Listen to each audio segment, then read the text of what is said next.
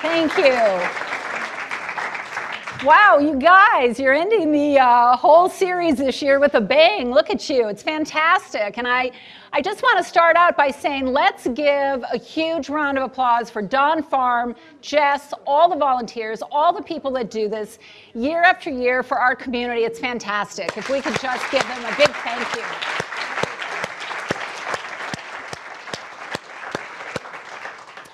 Okay. Um, if you have any questions while I'm speaking and it's a brief answer, raise your hand. I will try to answer. If it's a long answer, I'm going to say, come and meet me at the book signing table and I'll answer it. Is that all right? Okay. So we'll get started. Um, as he said, we're looking at uh, the topic tonight a cooperative approach to lasting sobriety. And I want to hold on. Let me get this on. There we go. There we go. Before we start, I just want to say on our website, lovefirst.net, if you if if you email me, hold on. If you email me at lovefirst.net and you would like a copy, a PDF of these slides, just make sure you are at the Dawn Farm series and I will have those sent to you, okay? The other thing I want to let you know also, if you go to lovefirst.net, we have um, 38 short videos which um, are designed for families who are interested in intervening on somebody they love to give you preliminary information or help other family members decide if doing an intervention is right for you. They're embedded video, it's completely no cost, but I just want you to know that's an available resource for you because a lot of families find it really helpful. I'd like to start out tonight by saying we have a problem. And it is not a new problem. It's a problem that has persisted through time, but it's something that we do not talk about very much as a field and as a society, although it's something we all know. And the problem is 50 to 90% of the people that get treatment relapse in the first year. Is that new to anybody? It is not. And I would like to say, family members, you know, for a long, long time, and Love First is a book, but we have been doing interventions. And when an intervention is successful, the first thing that happens with a family is they think of what? They think of this. They can barely celebrate because the first thing the family is thinking about when somebody says, Yes, I will accept help, is relapse the whole fear of relapse. And this is what's going to drive this entire conversation this evening, okay? Because it does require a conversation and it requires a new conversation because this is not all right for our beloved alcoholics and addicts. Every relapse comes with a risk and a price that may be too high for any of us to pay, but also for the people who love them, okay? That the tragedy of relapse the inability to rebuild families, the losses, the pain and the trepidation that we live in when we love somebody who suffers from this disease. So, what we're going to start out talking about tonight is what happens after treatment. Let me just talk a little bit about another disease, another chronic illness, diabetes, that we're very familiar with. If somebody is suffering from diabetes, and they go into a diabetic coma because they have not been managing their disease well, and they are rushed to St. Joe's. St. Joe's is going to come with all of their amazing medical abilities to help that person, to stabilize them, to get them into a place where they can leave the hospital. And when they're ready to leave the hospital, what are they going to do? They're going to come in with pamphlets and education. Maybe the doctor will come in with all the residents. Maybe a physician's assistant will come in. Social workers do whatever they can to support that diabetic so when they leave the hospital, they will be successful, right? All sorts of things that they're creating to make that person more successful. And the diabetic leaves, and for the next two months, they're doing great. You know, they're on that empowered and that empowered place. But then slowly but surely, what starts to happen? Back to the old ways. And then pretty soon they're not managing their disease, and pretty soon they're very sick again, and maybe they're back here at St. Joe's. But do we say hospitals do not work? Do we? No, we do not. But what do we say when the addict who is suffering from a chronic illness, the alcoholic, they go through treatment, they come out, they relapse, they have to go back to treatment. What do we say about treatment? We say treatment doesn't work. And this is what we have to look at. We have to look at this misunderstanding, okay? Because treatment and recovery have two very different roles. When does recovery start? Anybody? Who said that? After treatment, okay? So we have treatment, just like the diabetic, but that management of the disease, which we call recovery, happens after somebody leaves treatment. Okay? So, what we're really looking at when we talk about this, you know, the purpose of treatment is very, very specific. We detox people, we actively work to break through denial, we deal with a lot of issues, we get that person as stable as possible, and probably the two most important things we do in treatment, besides stabilizing the person, giving them enough time to get the drugs out of their brain, we have to break through denial at the deepest possible level, which is a constant, ongoing job, and also get that place, the person in the place to do what? To accept the fact that this is a disease, it's chronic, and it requires a program of recovery when you leave treatment. And that's difficult to do. So, in essence, what we're talking about when we talk about treatment, we're dealing with what? Just like the diabetic, we're dealing with the acute part of the illness. But recovery is dealing with the chronic nature of this disease because there is no cure. You know, AA says once a cucumber becomes a pickle, it can never be a cucumber again. And that, in essence, is what we're talking about. So when you're looking at treatment, you're looking at this short period of time, whether it's 30 days, 60 days, 90 days, nine months, but still, in essence, compared to a person's life, we have this short period of time. And then you get out of treatment, and then life goes on, doesn't it? It keeps going on and on and on as long as I'm breathing. And as long as I'm breathing, I need to manage this disease. And if I don't, what's going to happen? Eventually, relapse. Okay?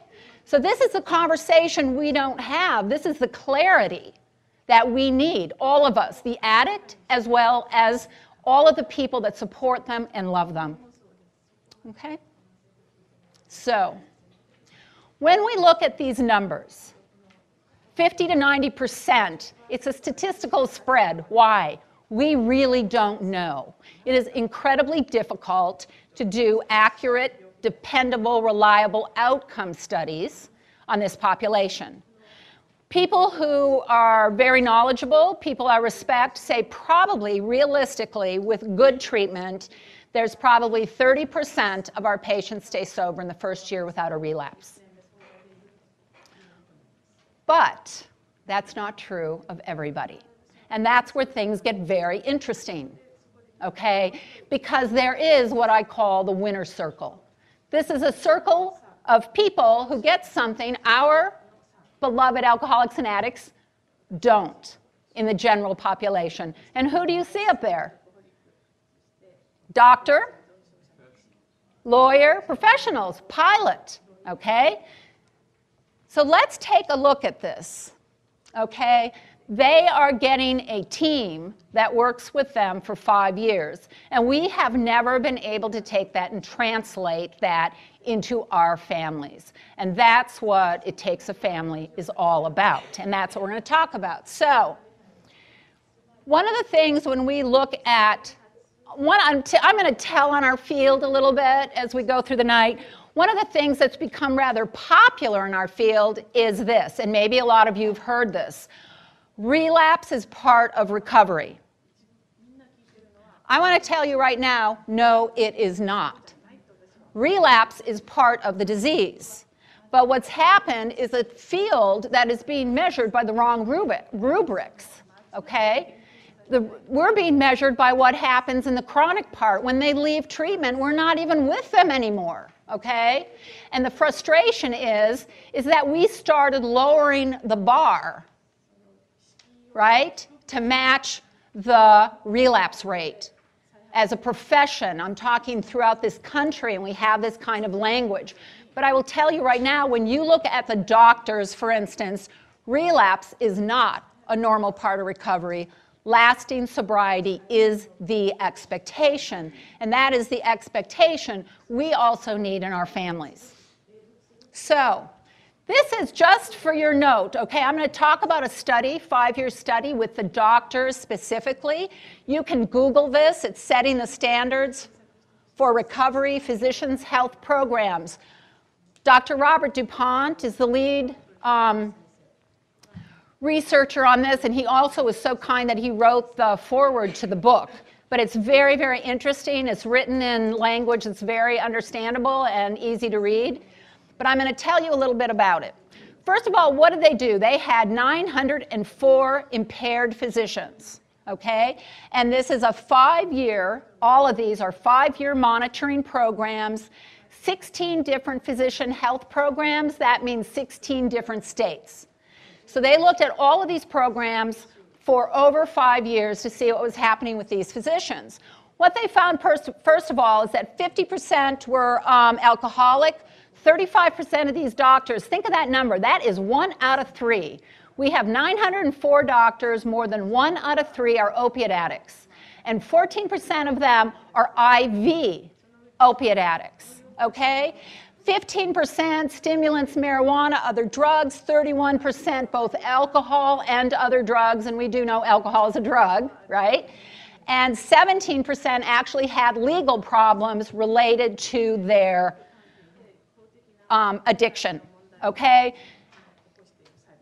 When doctors get into treatment, they are really sick because they have an astonishing enabling system. First of all, they're bringing the big check home, right? They're the big paycheck. So at home, they don't want to rock the boat of the big paycheck. But professionally, they are also protected too. So once a physician gets into treatment, they are usually much sicker than the general population. They are also at higher risk for relapse. Now, look at this number. In, this is five years. 78% zero relapse. 78%. The doctors that had one relapse, 15% in five years. So now we're at what? What's the math? 93% over five years. We'd be doing backflips if we had half of those numbers, okay? And then at the end of the day, 7% had more than one relapse in five years. Now, what DuPont and his team said the length of time helps prevent relapse, but it also allows relapsers to succeed. So that 7% ended up, they didn't give an exact percentage of the 7%, but a high number ended up successful as well because of the five years. Now, it's very popular in our field to look at this five year number and say, you know, this is something we really would like to do, but I'm going to tell you right now, we have a hard time convincing alcoholics and addicts to stay in treatment for 30 days, 60 days. You know, saying, oh, and we have a five year program for you. Hello? Right. Oh, yay. That's what I want to do, right? Exactly. So something else has to happen here because believe me, these doctors do not want to do this either. Okay? So, what I would say is that when we look at doctors or the lawyers or the pilots, for instance, really what they have found is the holy grail of recovery. But I'm sure somewhere in this audience you are thinking, of course they stay sober. They're doctors, right? They're doctors, for goodness sakes. Those of us who work when I talk with professionals, they start laughing when I say that. Why?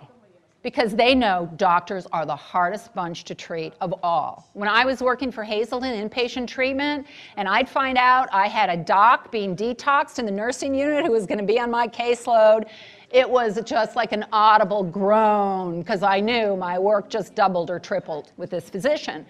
But additionally, I want to point a little something else about, out about doctors. And we love our doctors. You know, what would we do without our doctors? But let me point this out. If any of you have been in a hospital lately, you notice outside of every hospital door is a sign. And what does that sign ask you to do? Wash your hands. It is not in the doctor's locker room, it's outside every single door. The CDC tells us that for 30 years there has been a concerted effort to educate physicians about washing their hands with no sustainable results. What does that translate to? This translates every single year 100,000 patients in hospitals are dying, and it's directly related to not washing hands.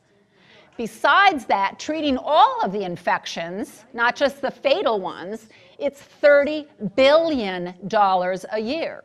And believe me, when people are educated about washing their hands, they also are given those statistics. Still, nothing changes.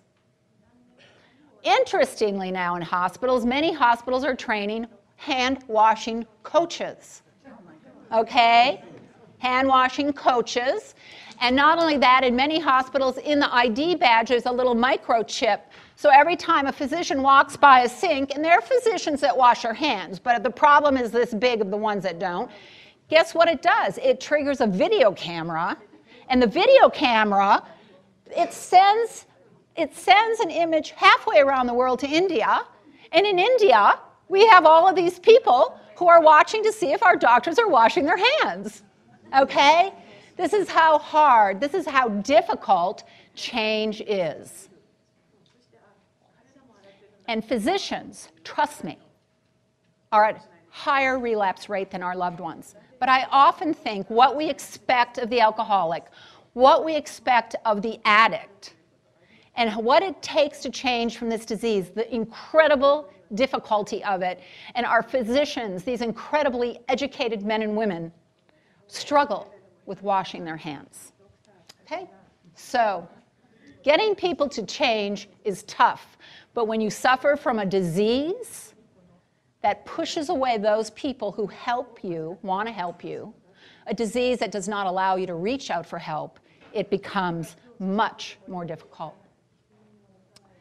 Very quickly, I just want to say, people working in this field, this is a, no brainer. We know each individual piece of this is very helpful in recovery. We just can't group them together and sustain it. But for doctors, there's this new paradigm. They use eight essential elements. So when we're talking about um, it takes a family, a cooperative approach to lasting sobriety. We're talking about something called structured family recovery.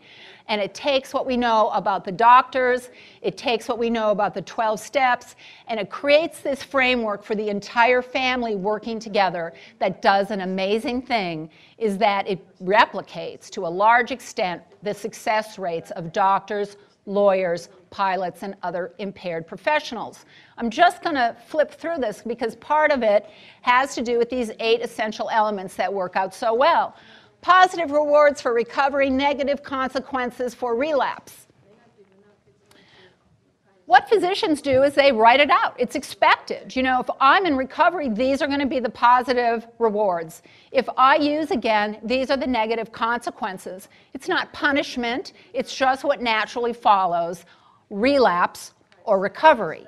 It's written down, it's understood, it's signed, it's transparent. So, everyone working with the doctor. We do the same thing with structured family recovery. Frequent random drug testing, neurosurgeons who are addicted to crack cocaine or alcohol or marijuana or Vicodin, they are drug tested for five years. If you are a neurosurgeon and you want to open up somebody's head, you are going to be sober, and we need to know you are. But with our family members, this is important too. Why? Besides that, we can no longer trust each other in addicted families, right? And the family members are terrified of relapse, so they become what? They become the police. Of course, they become the police. They're looking at every move the addict makes because they're terrified they're going to start using. Yet everybody wants to trust each other again. addicts in treatment would always say to me, How am I going to get my family to trust me? The family would ask me about relapse. How do I know she won't relapse? They're also talking about trust. But with drug testing, families get to resign from being the police. Does that make sense? Because guess what? When you are the police, you cannot trust, right? Is that your job? No. Quite the opposite when you're the police. So if you want to build relationships, you've got to take this out of the mix. And so when there is frequent random drug testing, families can relax, they can let go of that job, they can resign because they know if the disease comes back in our family again, we're going to know it. Does that make sense to you? It's very important. And I'm telling you something, if the neuroscientist, I mean the neurosurgeon, or the airline pilot, or any of those really smart people have to do this, why not the rest of us, right? Why not the rest of us? We have been experiencing a lot of media lately really denigrating the 12 step programs and AA doesn't work, you know. Hello. But anyway, I just don't really argue with that because you know what? If you're a physician, that's what you're going to do. You're going to go to 12 step programs and it's an abstinence standard. So that's all I need to know because these are the people that have the amazing success rates. Viable role models and recovery mentors. Oftentimes, when people are newly out of treatment, what we tell them is don't compare out. What do I mean by that? Anybody know? Don't compare out. In other words, you go to AA, and people typically say, Well, I don't relate to any of these people. I can't go to these meetings. They're all very different than me. And so what we say in treatment oftentimes is don't compare out, compare in. Right? Figure out how they're more like you. But you know what I say? Forget that because we naturally compare out. It's just what we do when something's new. It's our way of figuring out where do I fit in, do I fit in, and then the addicted brain just multiplies that many, many times over. So what doctors do is something really smart. They say we want our doctors, when they go to AA for the first time, to have the very best experience possible. Positive experience. So we pair them with another recovering physician who they will like and relate to. So with structured family recovery, which we're going to look at you know, in more detail real quick, this is sort of the foundation of it, we want to do the same thing. Let's get into AA meetings, let's get into places where you're going to be around people that initially you're going to say, yes, I really fit in. Yes, I really like this. Because as time goes on, you do start comparing in and you realize people that you thought were very different than you aren't different at all. In fact, you find out, wow, that person that I didn't like, now I think, wow, they're a real spiritual giant. They say things in these meetings I really needed to hear. But that doesn't happen right away in the beginning. And it's in the beginning that counts because if we lose our alcoholics, we lose our addicts in the beginning, what's going to happen? Relapse. Okay? With doctors, active management of relapse. Too often, when our loved ones relapse, they're often running, and that can last for a very long time before anyone steps in. With structured family recovery, we put together a plan, which we'll look at later, but with doctors, they do the same thing. You relapse immediately, we're reassessing, we're re-intervening, and we're looking at what was missing and what do you need, and let's put it together to make sure you can be successful. So thus the seven percenters that relapse more than once, for instance, they were constantly actively intervening on those relapses.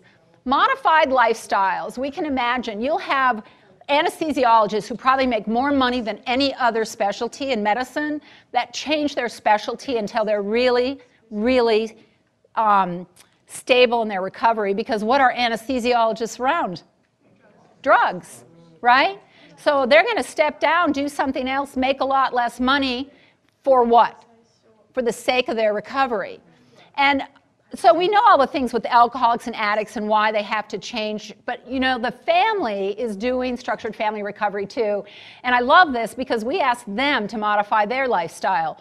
One of my things you know i used to facilitate the family program hazelden's family program and family members um, were often told when they asked the question you know, we like to, you know, we all get together and we have, uh, we like to drink wine or we like to drink beer and, you know, should we change that? And oftentimes family members are, set, are told, you know, ask your alcoholic. I'm like, do not ask your alcoholic. Because you know what your alcoholic's going to say every last time? Don't change anything for me. That's bad advice okay? It's bad advice because they may get through the family get together and everyone's drinking and they're like, I was fine. And four days later, they have bone crushing cravings for alcohol or other drugs, okay?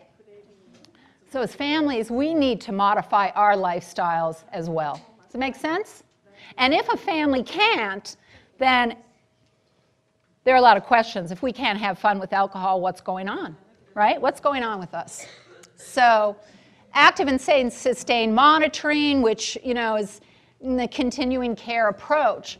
So in our field, we know all those things, but we have not been able to do what doctors, lawyers, et cetera, have done. We haven't been able to group these elements in a sustainable way. But with structured family recovery, we really can. Okay? Every time I talk, I've got to bring up this myth because I do feel it is still the most damaging myth about addiction. And that myth is you can't help an alcoholic until he or she wants help. We've all heard that, haven't we? Have we all heard that? Have we all said it probably? Right?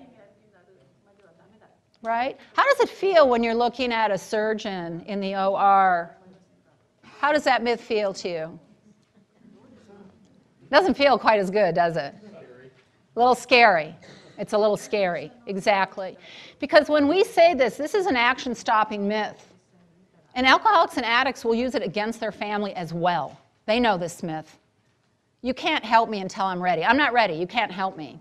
Okay, that's the disease talking. And then the family hears it, and what does it say? You have to step back and let addiction run through your family like a freight train because there's nothing you or I or anyone else can do.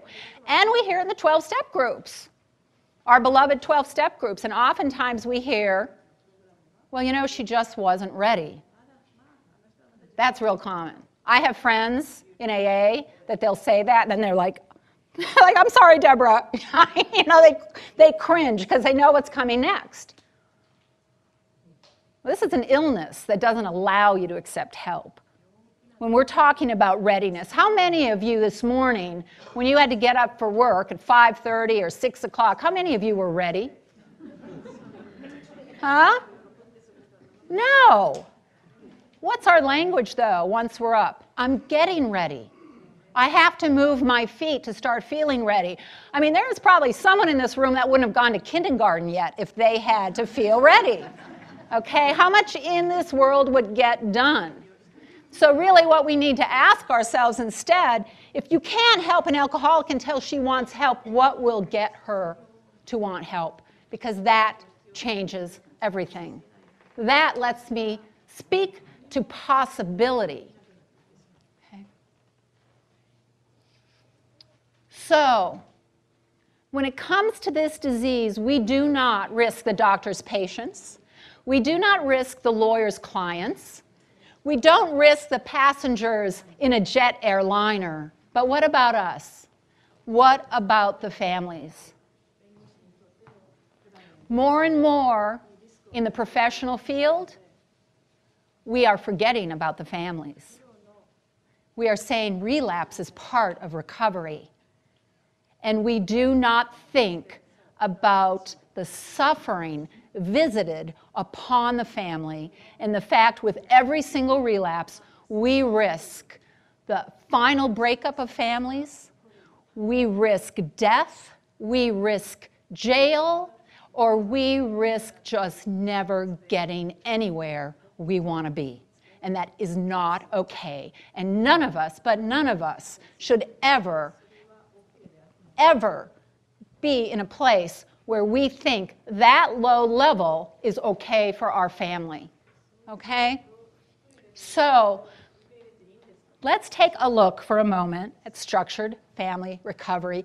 It is so darn easy. I just came back from Pine Grove, which is a huge, phenomenally well run treatment program in Hattiesburg, Mississippi, and trained the whole treatment center in this, and they just kept going, This is genius. I'm like, It's so darn simple. They're like, I know. Why didn't anyone ever think about it before? Because it is really, really simple. Okay? The first thing is a structured family recovery puts family smack dab in the middle of recovery, and I mean the whole family. So when somebody's in treatment and they're going through treatment, and some the family, it's a parallel track outside of treatment starts structured family recovery.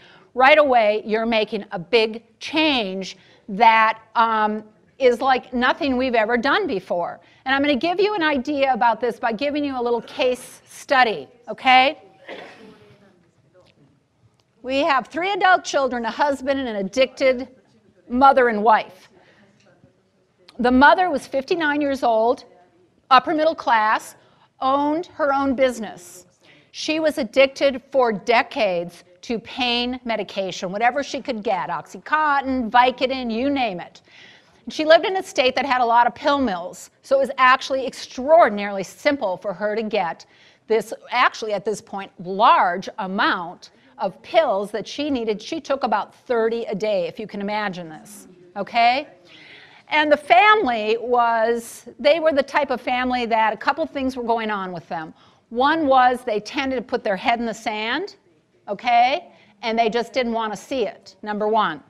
Number two, they were, their church was extraordinarily important to them, and the husband was a deacon in church, and their whole life was surrounded about the, with their church and that community.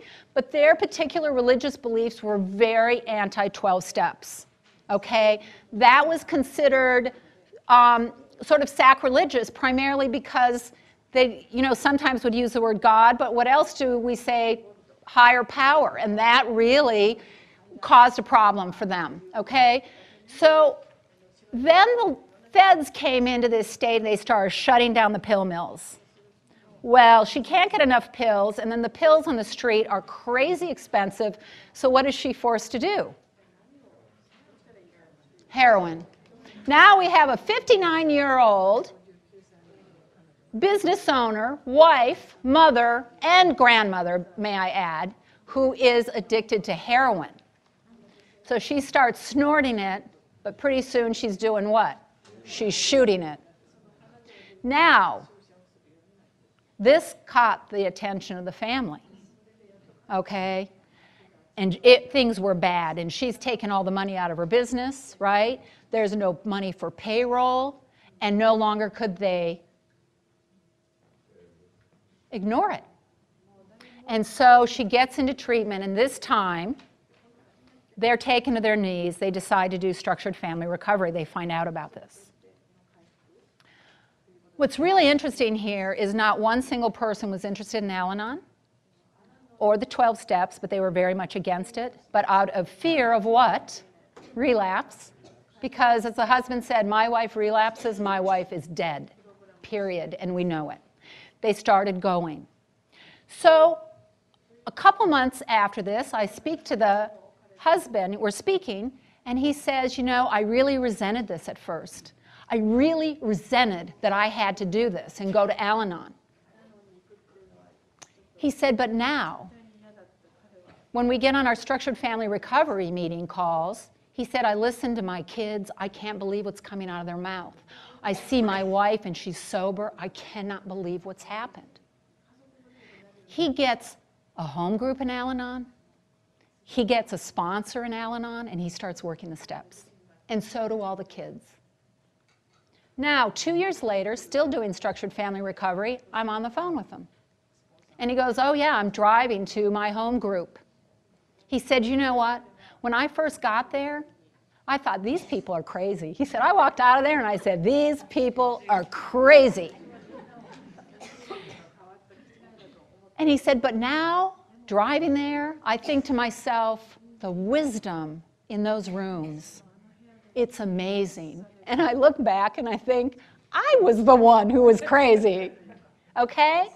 He still has his church, he's still a deacon, they still have their community, and they've made this all work.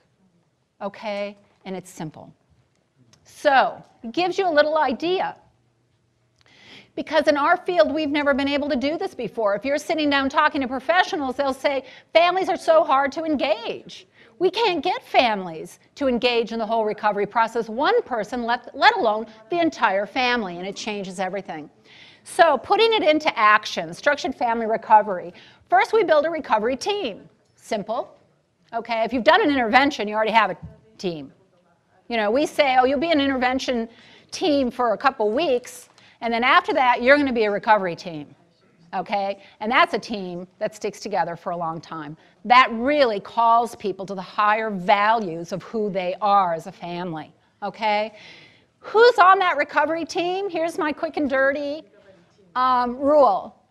This is an intimate team. So these are the people that you're going to feel comfortable with in your pajamas at the breakfast table in the morning. And if somebody comes over and you have to dash upstairs and throw your clothes on, they're not going to be part of this team. These are the people that are the closest to you. Okay? Any family in here ever experienced denial?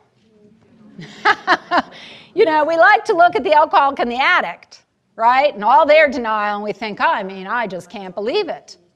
You know, it's a complete train wreck in the denial.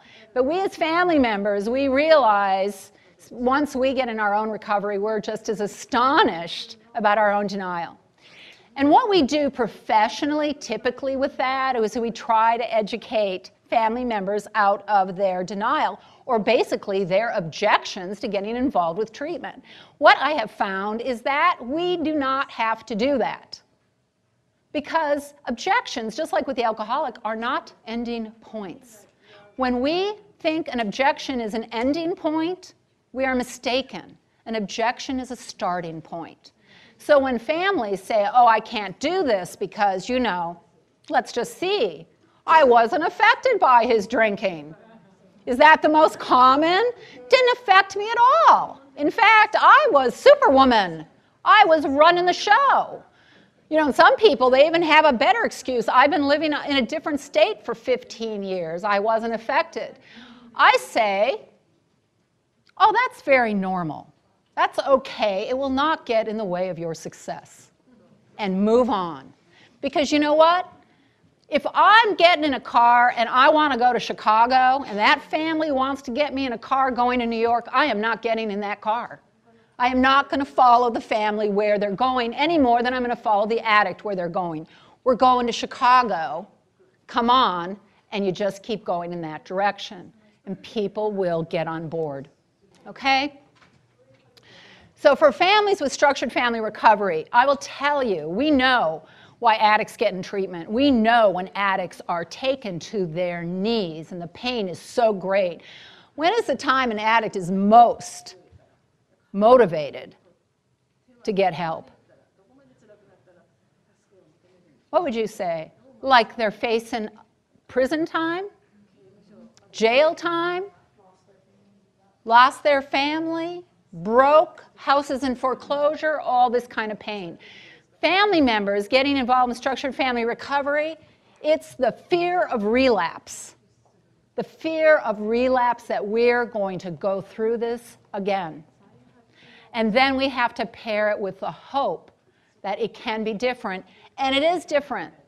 We know it's different because all we have to do is look at the doctors and we can tell that there is something else that we can do. We do not have to keep repeating this relapse cycle over and over and over again. So, structured family recovery has got to be simple or people won't do it. I mean, we have people over two years, they just will not stop doing it. Their family has never been so together, they've never enjoyed family as much. And it's really simple two simple steps one weekly structured family recovery meeting, one Al Anon meeting is all we ask the family to do. One Al Anon meeting. Why? The alcoholic, right, is in treatment. Let's say they're at Dawn Farm for 90 days. Dawn Farm has them for 90 days to say what you really need is 90 and 90, or you need five or six AA meetings a week, or whatever it is. We get family members. If I told a family member you have to go to 90 and 90, what do you think would happen? right? Be no way. Because the thing about it is, is really one meeting a week, get a sponsor, and then it's between you and your sponsor, isn't it? It's between you and your sponsor how many meetings you're going to go to. So there we are one, two. One SFR meeting, one 12 step meeting. So, keeping it simple, what does anybody in here know what Dr. Bob's last words on his deathbed were to Bill Wilson? Anybody? Let's not louse this thing up. Let's keep it simple. The great slogan.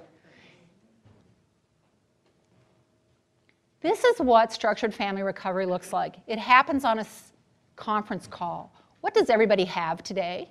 A cell phone. Okay? Do you think you're going to get a whole family group to go to a therapist's office week after week? Forget it, even if they all lived in the same town. And how many families all live in the same town? Right? Spread all over the place. But everybody's got a cell phone. This is not therapy. So everyone gets on this call one hour a week on their phone. So what? You don't have to drive through rush hour. You don't need childcare. You can be on vacation. You can be at your son or daughter's soccer game. You can be in bed in your pajamas. You don't need makeup. You don't need to fix your hair, right? You can be at your desk at work. You can be anywhere and do this. It makes it really easy. It's one hour. It starts on time, it ends on time. People actually learn. If they join the meeting, if they join the meeting late, the conference call, just to stay quiet, the conference call is going to keep going as it does, and we're not stopping, backing up, we're not going over time unless everybody's agreed to that. Okay? So that people understand it's only going to be one hour. The format, which we'll look at, super simple, but it's formatted and structured. This is not free flowing conversation like therapy. It's very, very structured. And in the book, it's 12 months because Hazelden was not going to publish a book for five years, you know, that big, and no one would ever buy it. But um, it takes people through 12 months, very well formatted. How many steps are there? 12. So one step per month, okay? And this is the great thing is the team members are focusing on themselves. Okay? I'm not focusing on my alcoholic. I'm learning to focus on myself. When an alcoholic and an addict gets into treatment, one of the hardest things we do is getting them to focus on themselves, right? For any of you who've been in treatment, do you want to focus on yourself? No, you don't. Anything but yourself, anything but the disease, and anything but the train wreck you've left behind. And you have to learn to do that, and so do families. And families are amazingly good at learning to do this. Okay? We began structured family recovery first with just the members of the family other than the addicted person. And why might that be? Well, let me tell you a couple reasons. First of all, the alcoholic or addict is sick and tired of being the center of attention. In, when they're using, what? Everybody, every eyeball on them. Everybody's talking, what are we going to do? Oh my gosh, did you know, right?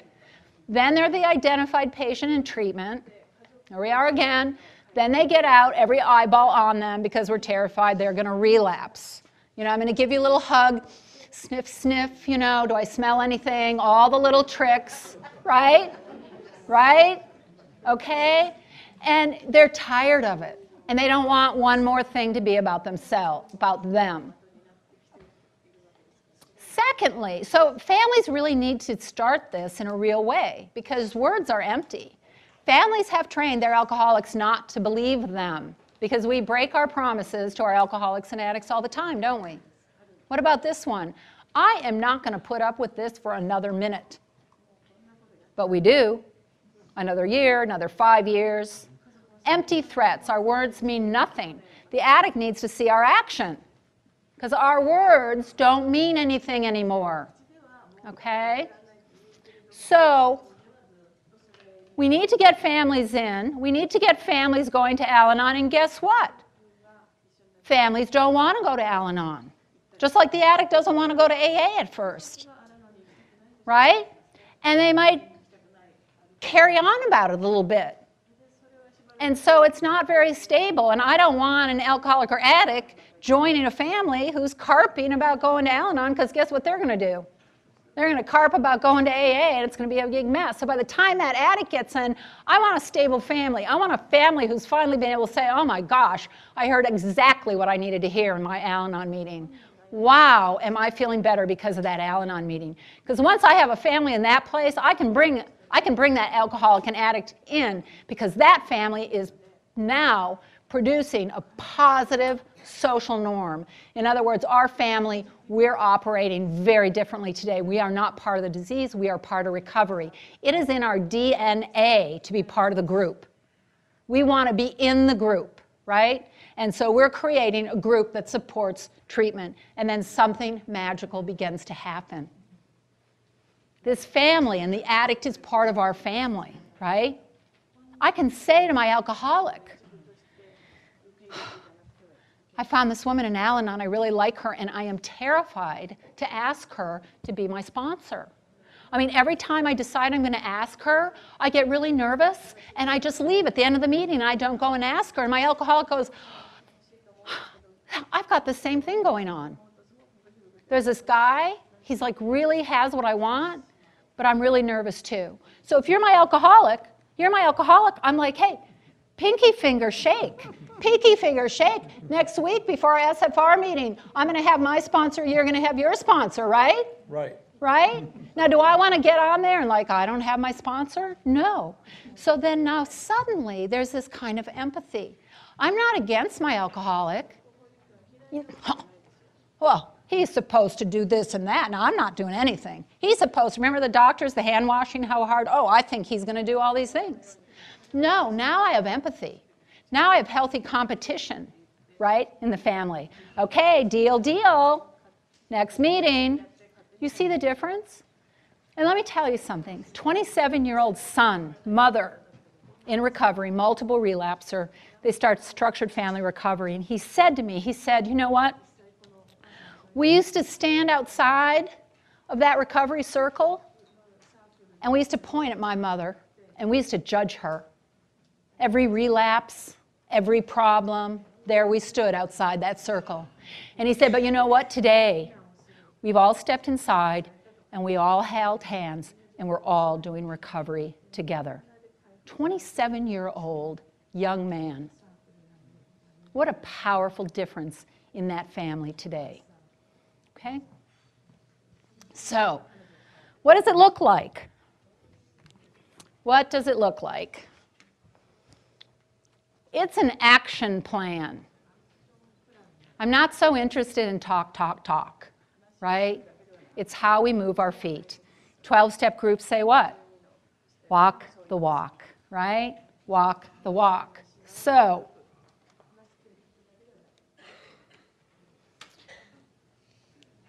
now we have a family working in unison with everybody focusing on themselves. We're working together but we're focusing on ourselves. You see how different that is?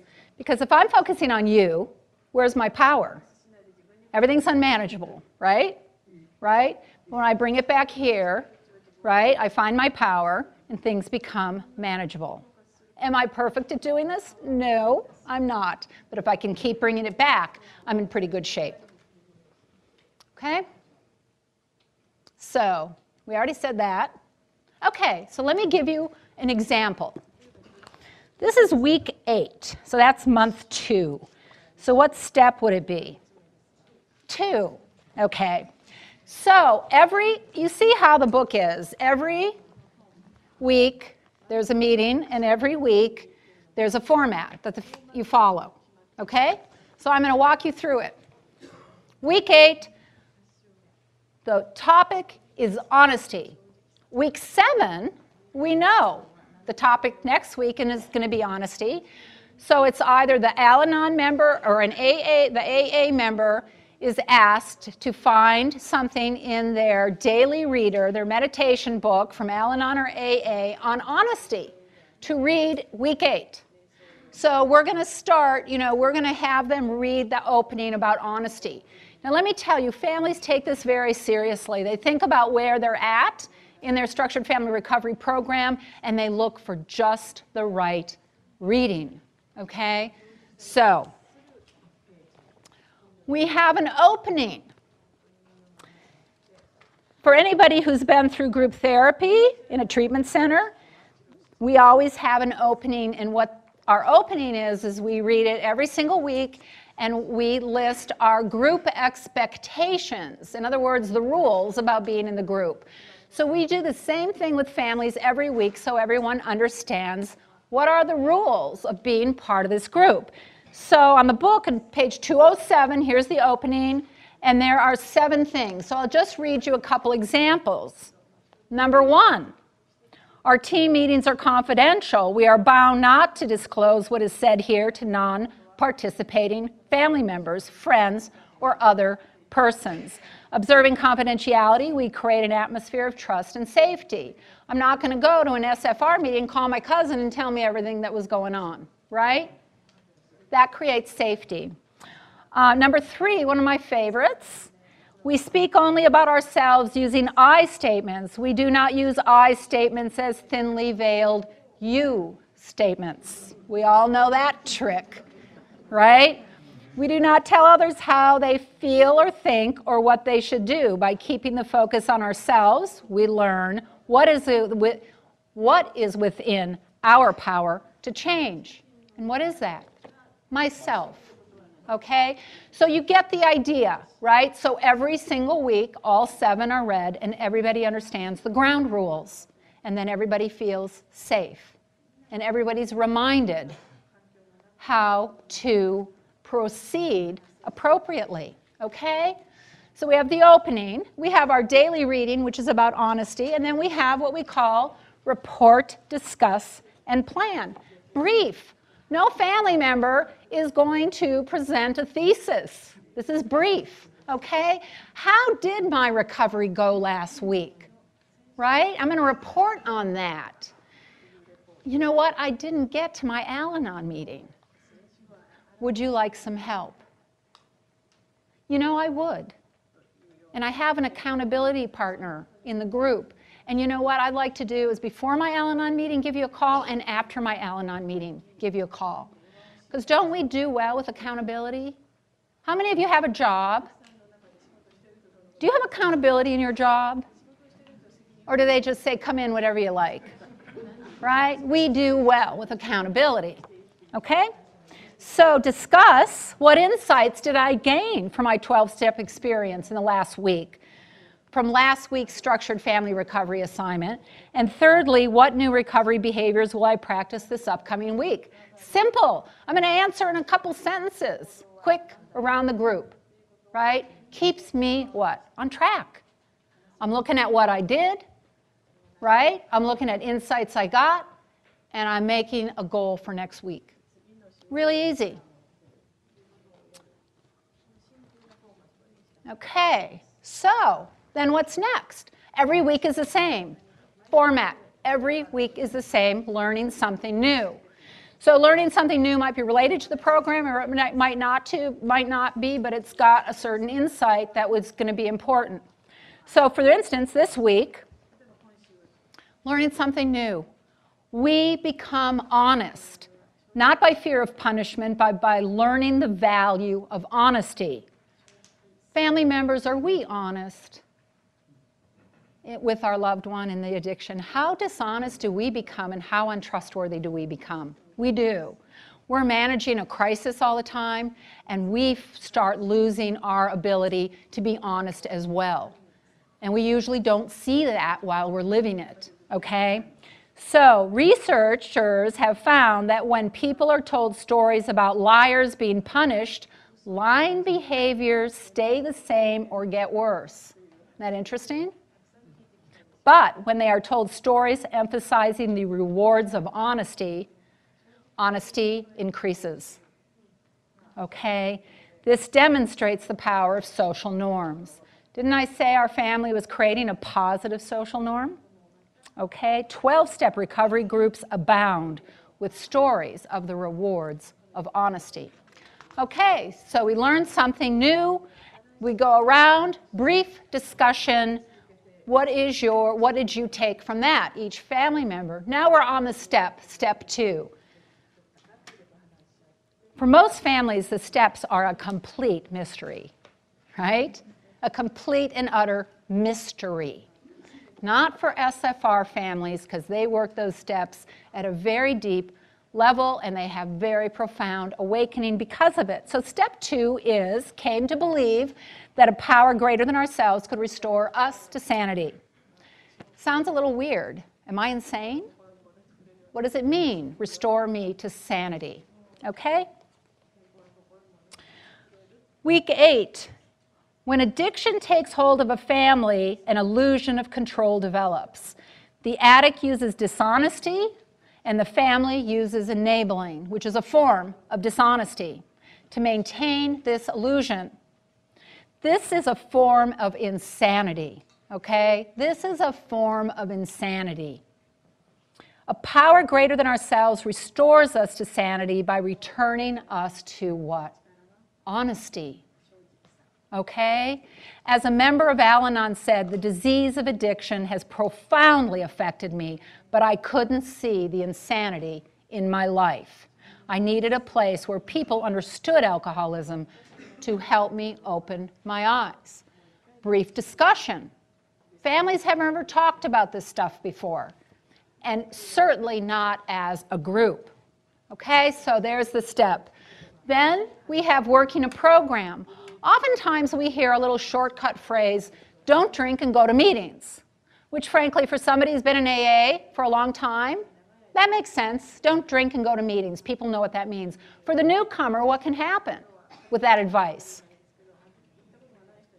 I get to the meeting last minute, I sit in the back row, I leave the meeting, I do nothing, I don't work a program, and I relapse and I go, but I was going to AA and I guess AA doesn't work.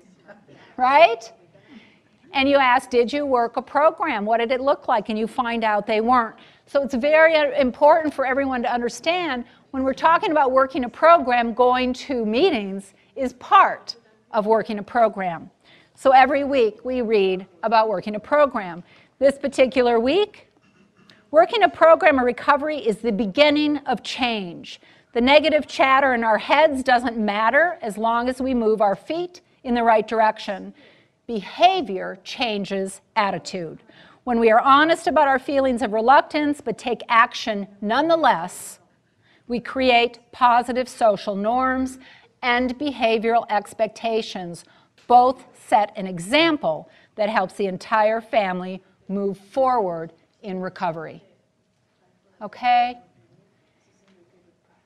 Al Anon, AA, all 12 step programs are what? They are programs of action. Okay, a lot of times people go to meetings and they say people are just sitting around talking. Not when you're working a program. You get a sponsor, you work the steps, and the steps are transformational, okay? They're transformational.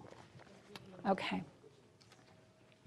So after that, there's a little assignment, just a little assignment. This particular week, focus on the spiritual practice of being honest. you know, I haven't been honest for so long. So easy when you're honest, right? How is honesty linked to simplicity? It is simple when you're honest, okay? How is honesty linked to trustworthiness? I can trust you when you're honest, okay? And how is honesty linked to peace of mind? Life is very different when we can be honest, but it's very hard to be honest when you live under the lash of addiction. Okay? Discuss this at a 12 step meeting journal your thoughts. Simple, okay? But what it does is it takes what you do that week and brings it out where? Into your 12 step program, because that's where it happens, okay? That's where it happens. And then the closing, the closing, it's the promises from the big book of Alcoholics Anonymous, okay? Let me just read a couple to you. Many of you are very familiar with these.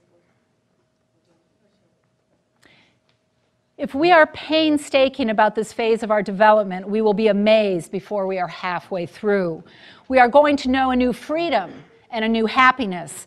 We will not regret the past, nor wish to shut the door on it. We will comprehend the word serenity and we will know peace. No matter how far down the scale we have gone, we will see how our experience can benefit others. That feeling of usefulness and self pity will disappear. We will lose interest in selfish things and gain interest in our fellows. Self seeking will slip away. Our whole attitude and outlook upon life will change. Fear of people and economic insecurity will leave us. We will intuitively know how to handle situations which used to baffle us. We will suddenly realize that God is doing for us what we could not do for ourselves. Are these extravagant promises?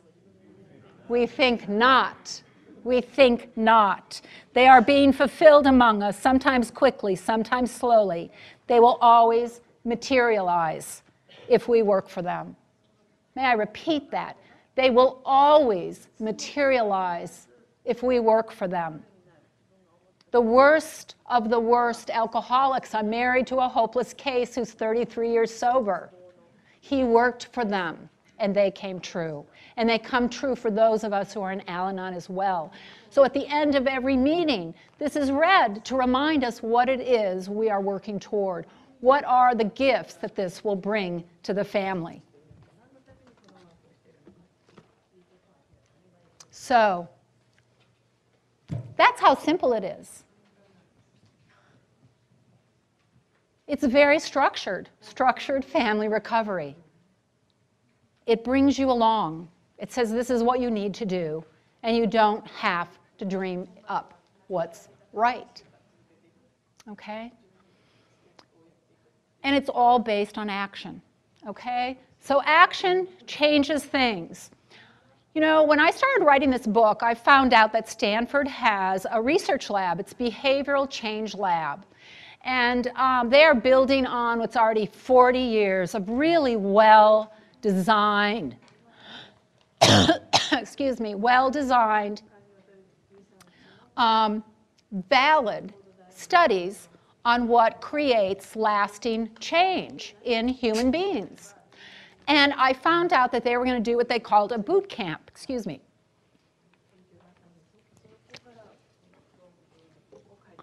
And they were only accepting from the whole country 10 people. And I went into a bit of a panic because I'm like, I am writing this book. I need to take this. What creates lasting change? And you had to jump through a bunch of hoops, and you had to do interviewing and fill paperwork out, more interviewing, and on and on. And then finally, two last questions, and the two questions were beautiful because they said, We need to know how you're going to use this information to help humanity. Isn't that lovely that somebody actually cared about that?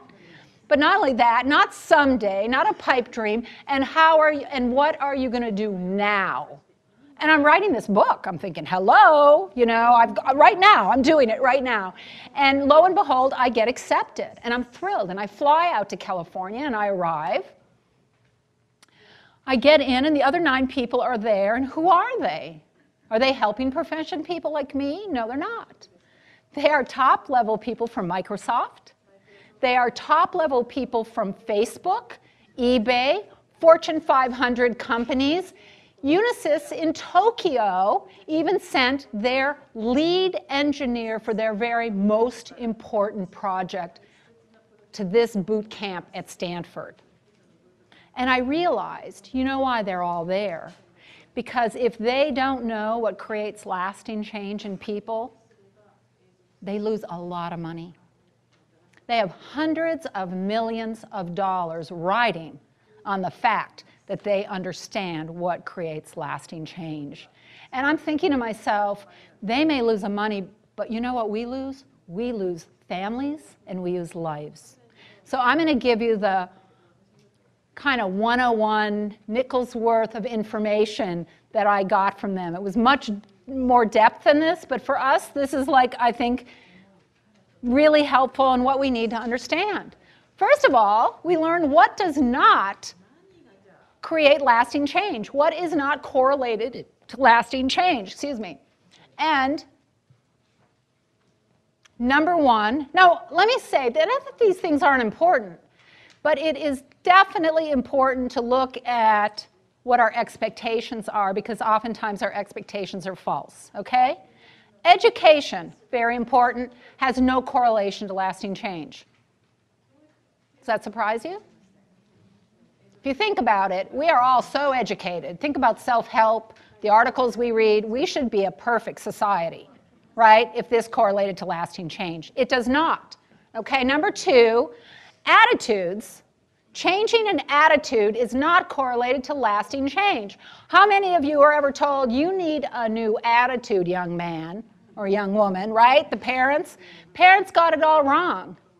Attitude change doesn't correlate to lasting behavioral changes. It's the other way around. They should be saying you need a new behavior because behavior changes attitude. Motivation. Motivation has no correlation to lasting change. Okay?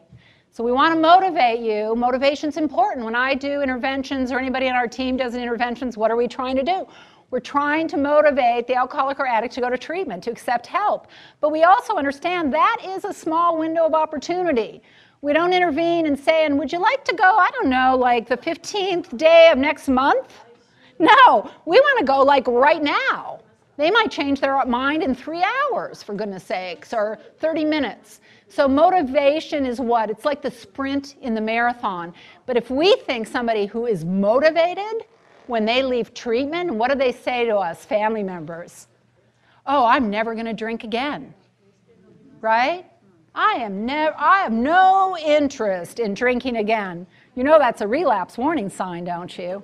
Right? Because they're so motivated they believe that. No correlation. So these things may have really important things. You know, education, we love education, right? Motivation, very important. But let's have realistic expectations about what they're important for. So with structured family recovery, we are using what creates lasting change. Okay. Number one, behavioral expectations. Remember we talked about our jobs a little while ago? Our jobs have behavioral expectations. We meet those behavioral expectations or we what? We lose our job, right? Behavioral expectations. Directly correlated to lasting change. Anybody know this guy? I got any golfers here? No golfers? Ah, I got some hands. Butch Harmon, he is it. When you want to talk about coaches in golfing, this is the man. When Tiger Woods early on wanted to change his swing, he worked with him for a year before he had the first stroke, which was what he knew he needed to have to be the big winner. Okay? This is the guy. So I'm going to a conference to speak, and I'm reading the um, USA Today on the plane.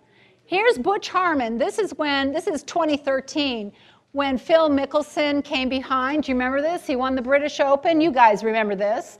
And the first paragraph about this, whose name is in the first paragraph? Butch Harmon. First paragraph. What does it say? Butch Harmon told Phil Mickelson, this is what you need to win the British Open. This is what you need to do. So now I'm telling on our field a little bit we got this new thing going on throughout our field with alcoholics and addicts. Never tell them what to do. Okay? Don't tell them what to do. Don't tell them to go to AA. And just ask them, how is that working for you? Okay? I'm like, really? Really? Talk to the families. Find out how that's working for them. Okay? And I think about I think about Butch Harmon and Phil and Tiger. And I think Phil and Tiger are not paying him truckloads of money to say, How is that working for you? Right? Right? He is setting up expectations. This is what you need to do if you're going to be a winner. And you know what? In this field, with alcoholism, with re- treatment and recovery, we know what it takes to be a winner. We know what it takes. Okay? So, just an aside so while the field is going down the road of how is that working for you, and I'm never going to tell you what to do, I think neuroscience is so advanced and they're saying, okay, here's a really healthy, normal, active brain. Here's the brain. Alcoholic brain, 17 years, binge drinking on the weekends, right? Here's, here's a nice healthy brain from the bottom up. Alcoholic brain, loss of activity in that brain, atrophied brain, okay? Here we have cocaine, methamphetamine, marijuana. You know the big debates we have about marijuana? Well, I don't know about you, but that's not the brain I want, okay? Opiates and before and after recovery. Look at that, one year. AA has a saying, you'll get your brain back in five years. Science says, hey, one year. Look at that. I look at this and I think to myself, really, what they say is the decision making, the prefrontal cortex is highly affected, the emotional brain is highly affected by this disease.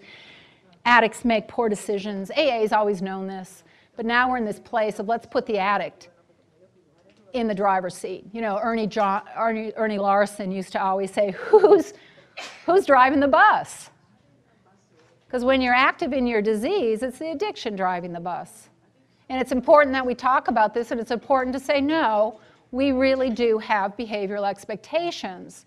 They work, they create change. And with this disease, it's particularly important. So, number one, behavioral expectation. Number two, we've already said this simplicity.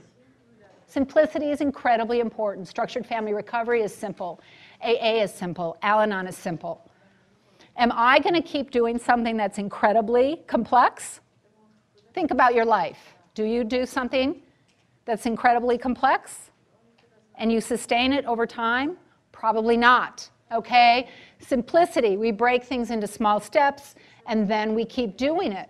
And what's important, because we know motivation has no correlation to lasting change. And if something is really hard and complex to do, what do I need a lot of? Motivation. I have to keep amping up the motivation.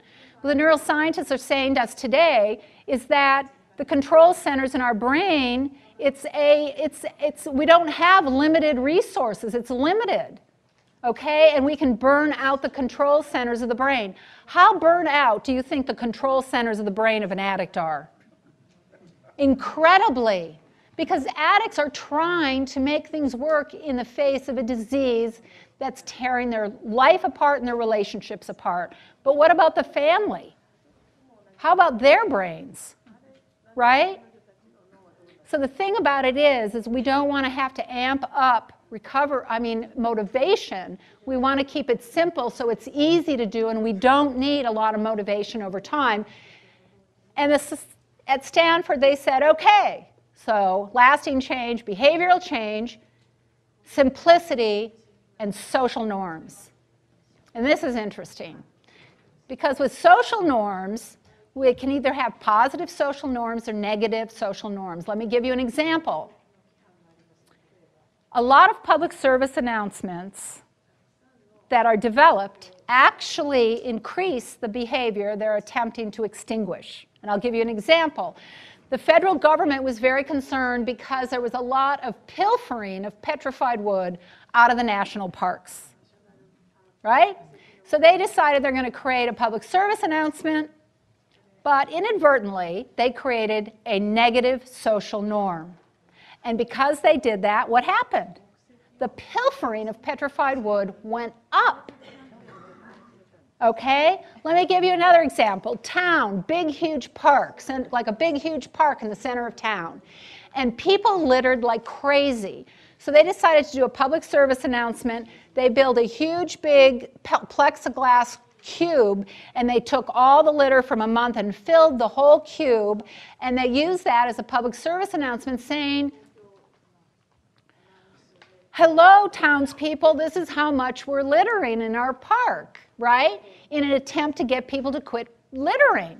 But what is that a positive social norm or a negative social norm? What do you think? Negative. So what happened? Littering went up, right?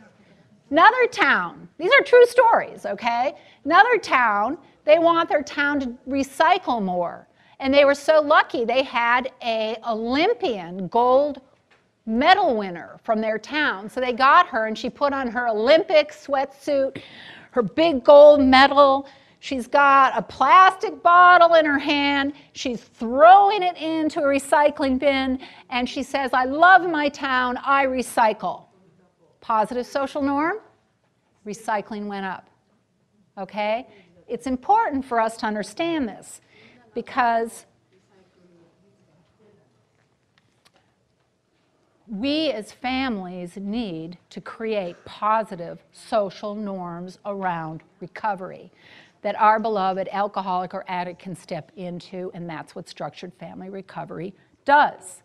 So let me explain a little bit more. Anybody been in a hotel and in the bathroom, it says, Save our planet, we are green, reuse your towels. Do you ever wonder how come every single hotel room has this?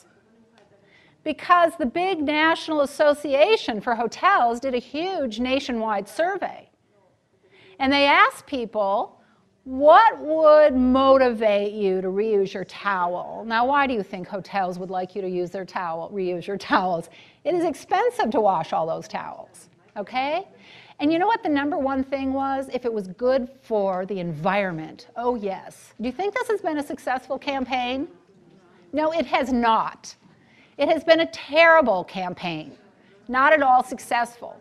Now, what do you think the very last thing the people surveyed said was the least likely thing? No way is that going to influence my towel use at all. It was what other people are doing. Oh no, oh no, that doesn't influence me at all. Because you know what? We don't know. Social scientists will tell you, we do not know what motivates us.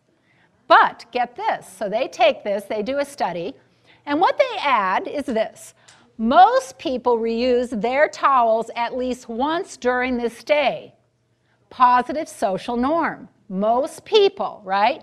26% higher reusing of the towels when that was in their room. But then they up the ante.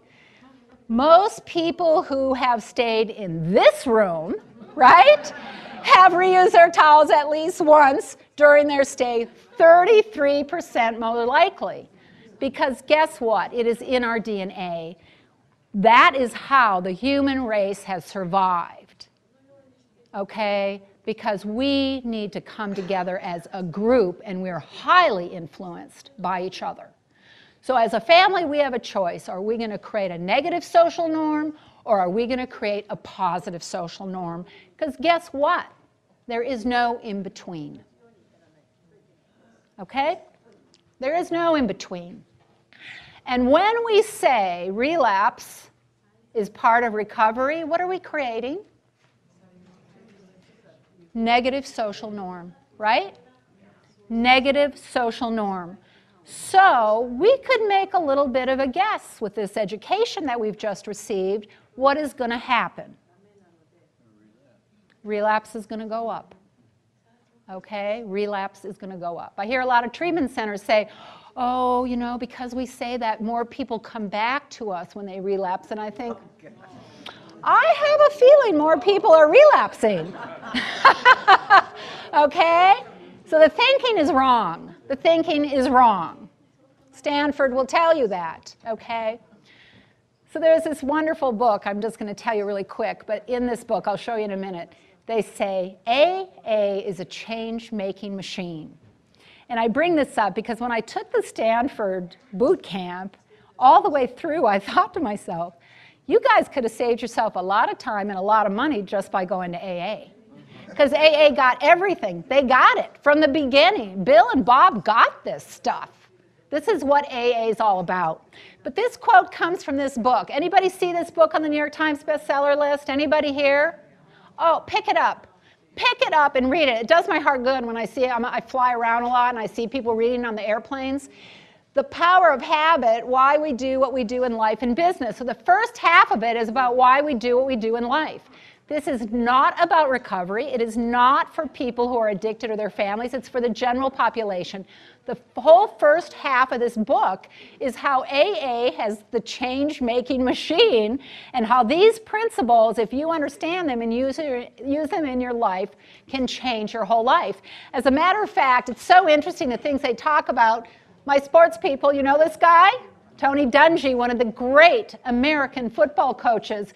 Did you know, and if you read this book, you'll find out how he did it. He used the principles of AA to turn around the Colts and the Buccaneers.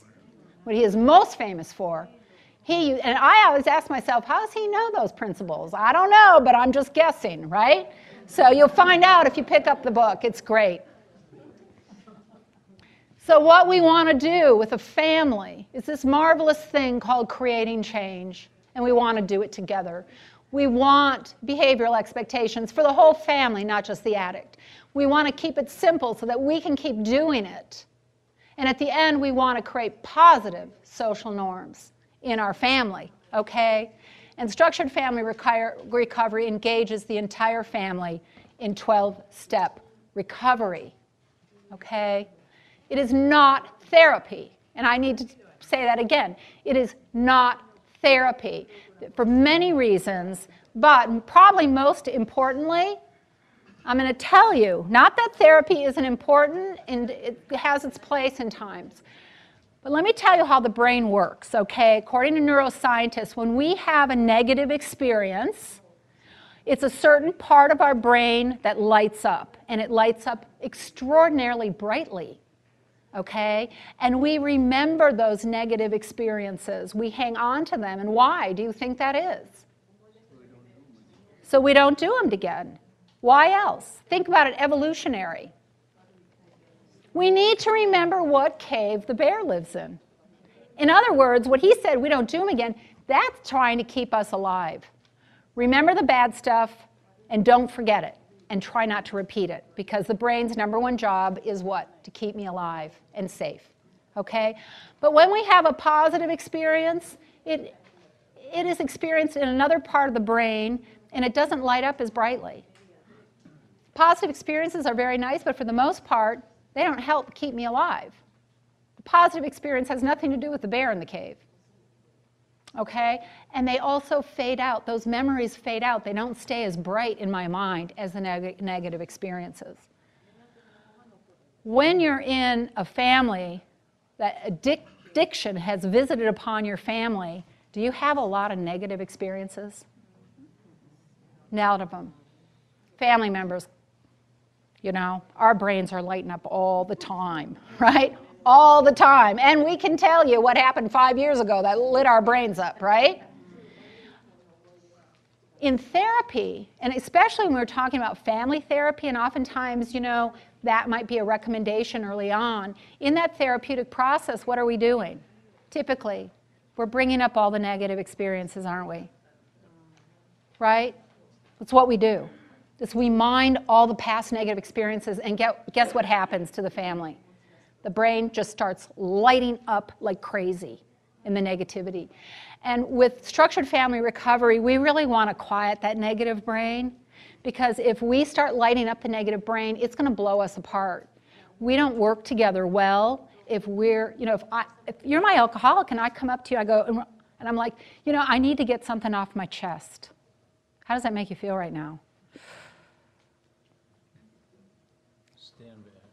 Stand back, right? I need to get something off my chest. I might feel better for a minute or two having said that to you, but at the end of the day, that's going to create more of that negativity between us. Structured family recovery isn't about that. That is, this is about finding our humanity together, coming back together with a goal, and we really need to quiet that negative brain that's been lighting up sometimes for years, sometimes for decades around this disease.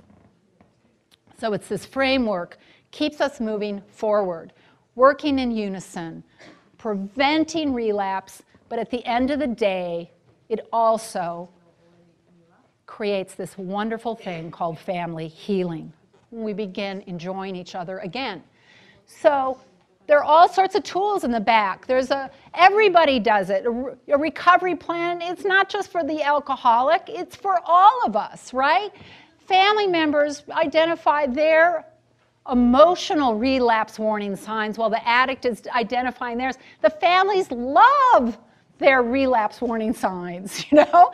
It's like, yes, there's something marvelous because once I identify it, there's something I can do. It creates this kind of strange peace. I can talk about it. And when we all identify it, we connect. When I was at this treatment center, I made everyone go around in program after program identifying their relapse warning signs for emotional relapse. We all did it. We all felt like we knew each other and we sort of bonded. And entire families bond because, again, we're just talking this truth and we can make decisions. We stay on track. You know, in the back of the book, checklists. I really looked into how do you develop checklists that work okay? Putting them together. And every week on the phone, people are using their checklist. Where am I? And you know what? It's not just it's not just a laundry. I'm not. This isn't the grocery list checklist. This is really meaningful. Pilots always use checklists. I was on, getting on a plane not too long ago, and I was stopped right outside the plane, waiting for the line to move, and I could see right in that window, and that pilot had his checklist in front of him. Okay. Surgeons, World Health Organization has really been trying to work to get surgeons to use checklists because what happens when they use checklists in the OR? Death rate drops. Surgeons are very resistant, however, as it turns out. And people say, well, I think there's like maybe a big ego or they feel insulted, like I don't know my job. But when I think about the pilots, I think, well, pilots could feel that way. They got pretty big egos. They might be insulted that you're saying I need a checklist. So I really thought about this and I thought, you know why pilots use a checklist? Because when that plane goes down, they're going down with it. right? But hey, when the patient dies, the surgeon's still going out to dinner. right? For us, let me tell you why those checklists are so important. Because when our addict relapses, we hit bottom right along with them. We're going every time, we're going for the ride. And the checklist keeps us doing what we need to do, and it keeps it simple. It keeps us from overcomplicating, okay? It acts as a trigger for taking action. It prevents common mistakes. It keeps me from complicating things, okay? And prevents past patterns that led to ending up again in a place I don't want to be in. Okay. So I want to close a little bit because in the beginning with It Takes a Family, it is about the hook is always relapse. The family is in crisis. And oftentimes, and I say this to treatment professionals, when a family is in crisis and you're talking about family healing and how you're going to, who can hear that when you're in crisis? All you care about is, is my loved one going to stay sober? Are they going to relapse? You know, when the house is flooding, don't talk to me about the wallpaper. right? right? Once the water's gone, I can have that conversation. With structured family recovery, once the water's gone, all of a sudden everyone looks around and they're like, wow, we're starting to like each other again. How long has it been since we have really laughed and had fun and wanted to talk, right? So the relationship part is important. And I'm going to share just a little bit. We reestablish kindness, and I want to read this from the book. This little piece. Anyone that has a book, it is on page 190. And I'm going to read a little bit.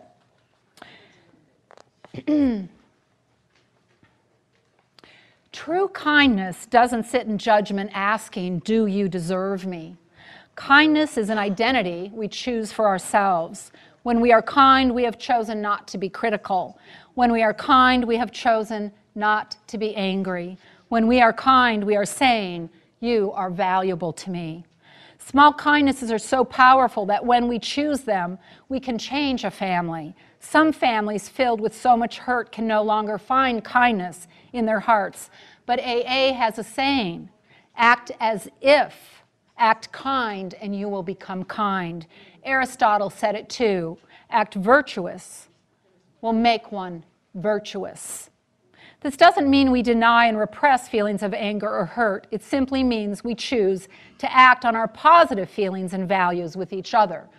We take our anger and hurt to the place that's designed to deal with it. That is our 12 step meaning. The 12 steps clean house, our house, not our addict's house, our house. And that's where we deal with it. We're not going to light up our loved ones' negative brains by thinking that we're going to dump our anger and hurt on them again and again and again. Okay? During active addiction, much is not beautiful and many things hurt us, and we, in all likelihood, hurt others. Kindness is hard won after so much injustice and pain. It's born of an experience that offered us little hope. Yet once we're delivered into recovery, we are given the opportunity to repair and strengthen the fabric of our families. It takes working together, and that cannot happen without kindness. And I want to read that last sentence to you again. It takes working together, and that cannot happen without kindness. And it can't. If we cannot be kind, we will not stick together. There's a poem in here, and the wonderful poet from her book, she allowed me to print it. And I thought this speaks so beautifully, especially the families of an alcoholic and to the alcoholic themselves. Her name is Naomi Shihab Nye, and the poem is called Kindness. And I'm going to share this with you. She writes Before you know what kindness really is, you must lose things, feel the future dissolve in a moment like salt in a weakened broth. What you held in your hand, what you counted and carefully saved, all of this must go so you know how desolate the landscape can be between the regions of kindness. Then it is only kindness that makes sense anymore, only kindness that ties your shoes and sends you out into the day to mail letters and purchase bread.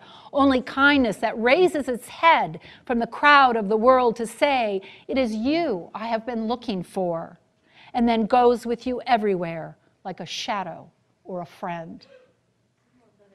And then I wrote, living in the aftermath of addiction, kindness makes perfect sense.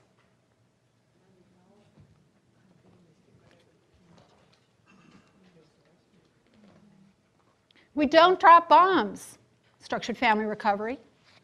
Sometimes family members get a little bored. The crises are dying down. We're so used to the high of a crisis. And in structured family recovery, nobody drops bombs. In other words, you don't come into a meeting and all of a sudden you drop a huge bomb and hijack the meeting. We have this great language, red light. Red light means it might be important, but it's not appropriate for structured family recovery, and we talk about it before a meeting or after. Yellow light, we don't know if it's appropriate. We'll give ourselves some time. Green light, yes, it's appropriate. But we don't let people hijack the meetings okay? Because that is going to create problems and it's not going to be in line with being kind to one another. We cultivate trustworthiness. In treatment, so often, as I said earlier, when I worked in inpatient treatment, the alcoholic or addict early on would say, How do I regain the trust of my family? Okay? Let me read you just a little bit about trust.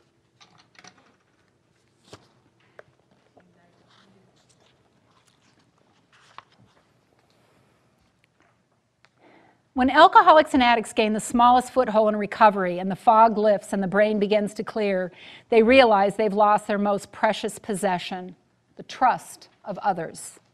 Without it, it's difficult to receive and give love. Civility is at its lowest ebb. Acts of compassion dry up. When no one trusts them, no one has faith in them. Immediately, they want to know how to get it back. When I worked with alcoholics and addicts in treatment, it was one of the first questions they'd ask me How do I get my family to trust me again? They urgently want to find a way back into the fold because living without trust is painful. But trust can no longer be reclaimed by apology or promise, it must be earned. With structured family recovery, we create something that gives the possibility of developing trust again because we learn that we never have the right to ask another person, Do you trust me? The alcoholic doesn't have the right, and the family member doesn't either. there's only one question we can ask, and that is, Am I being trustworthy today? Because if I am living, living trustworthy today, and I get enough of those days together and I don't know what that number is, you probably will learn to trust me again, right? Am I being trustworthy today? Because as family members, we were not trustworthy either. Okay? So this teaches us and gives us a place to be able to answer that question. And what step is that? Anybody? What step would you do every day that would tell you whether or not you're being trustworthy? Ten. 10. Personal inventory. Okay? Personal inventory. And we begin having fun. I don't mean going out to dinner. That's enjoyable. I don't mean shopping. That's enjoyable. But it's not fun and it's not play. Play is so important. Stuart Brown, just Google him. Stuart Brown, TED Talk. He's a physician, an MD, and he does all sorts of research on play in the brain. And what play does when we play with each other, first of all, it creates trust and it creates a sense of belonging, something we desperately need. But not only that, it starts healing the brain that has been so affected by stress and by addiction. So for families to start playing, to really have fun together, brings them together. But Dr. Stuart Brown says the opposite of play is depression. And that it is an incredibly important thing. Adults used to play all the time. We don't play anymore. And a family and structured family recovery learns how to play again. Okay? And play is important because when we talk about that negative brain, the rule of thumb is it takes five positives to overcome each negative, and we have a lot of negatives to overcome.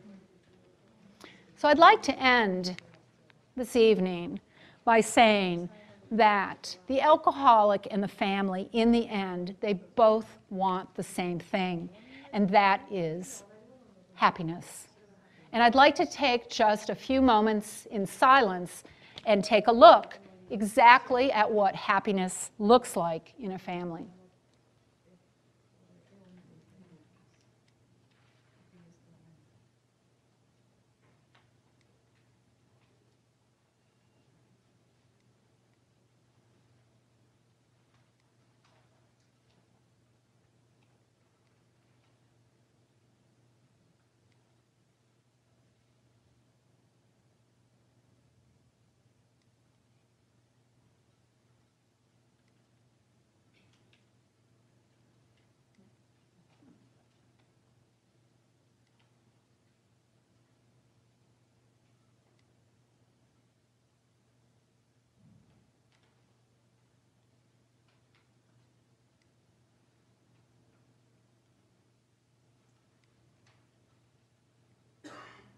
Elizabeth Barrett Browning wrote, The earth is crammed with heaven.